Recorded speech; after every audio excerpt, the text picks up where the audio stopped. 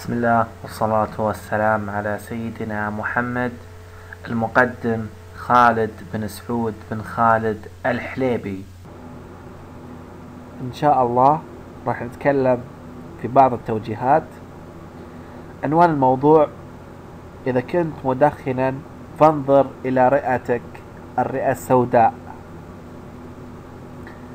تظهر في هذه الصورة رئة إنسان مدخن ونرى كيف أصبحت سوداء مقارنة برئة الإنسان الغير المدخن التي تبدو حمراء وردية.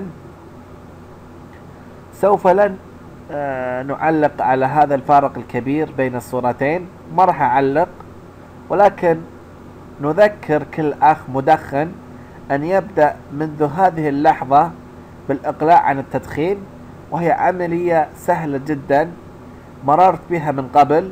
وأفضل طريقة للإقلاع عن التدخين هي أن تقرأ هذه الآية وتكررها كلما آه، خطرت ببالك آه، السيجارة. تتذكر بأن التدخين هو انتحار بطيء يقول تبارك وتعالى في القرآن الكريم ولا تقتلوا أنفسكم إن الله كان بكم رحيما. سورة النساء آية 29 فالتدخين هو قتل النفس ببطء. نسأل الله لنا وللجميع العافية. والله أعلم.